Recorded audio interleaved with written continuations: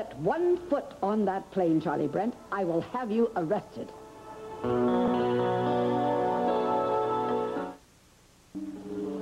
Grandmother, what a surprise.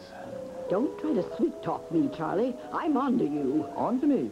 Yes, you are using my credit card under false pretenses. False. I never gave you permission to charge airline tickets on it.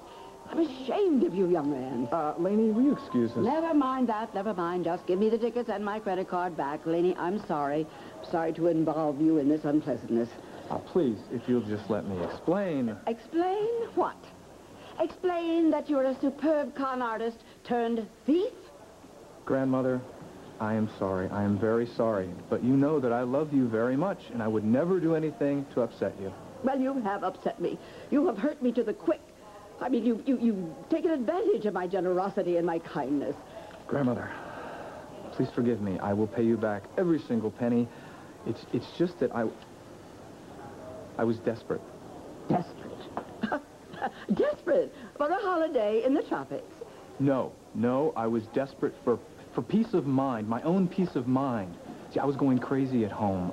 I, I had to get out of there, and I was afraid I couldn't tell anybody because they just didn't understand. Understand what? Me, me, what was, what was going on inside of me. See, I, I'm a failure in their eyes. Whose eyes? In my grandparents and Chuck, I, they're ashamed of me.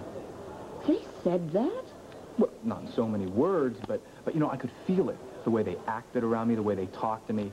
I am just a continual source of disappointment to them.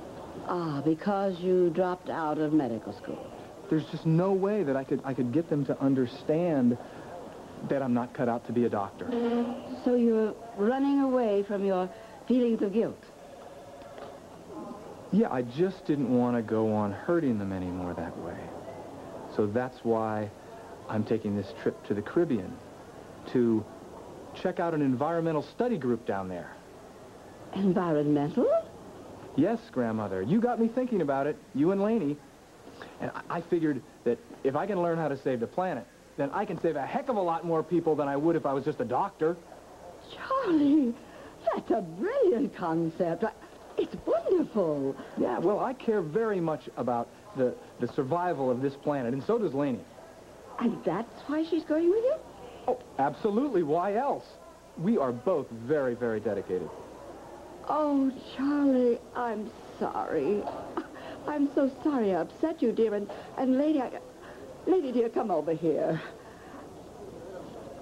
Charlie just explained everything to me, and I want you to know that you both have my blessings. Oh, bon voyage, darlings. Oh, have a wonderful time. I can't wait until you come back and tell me all about it.